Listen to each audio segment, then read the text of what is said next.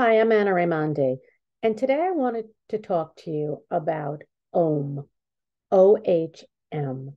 So there's many people chanting these days, but really don't understand the the power and what it means to chant Om.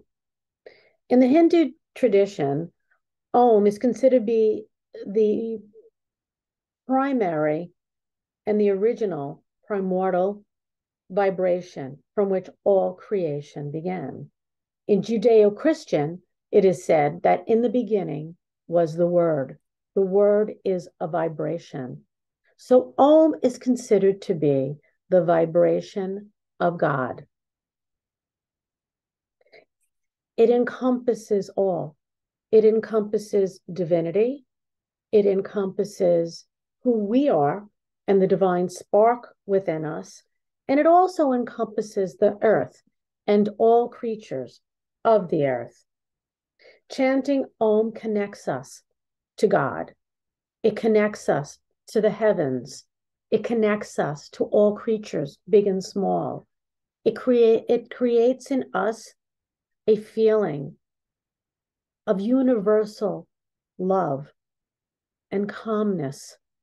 It is used in meditations, it is used as a prayer, it is used in every way as a connection to who we are as God's children.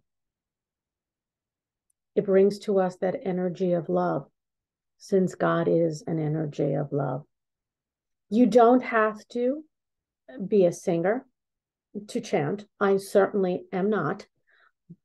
But I'm going to chant Om with you today. And I would like you to chant it with me. Om.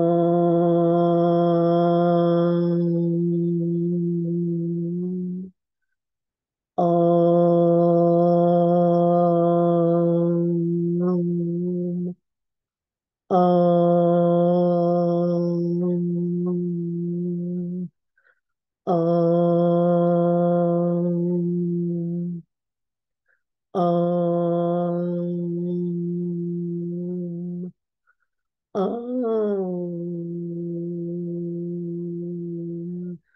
嗯嗯嗯嗯嗯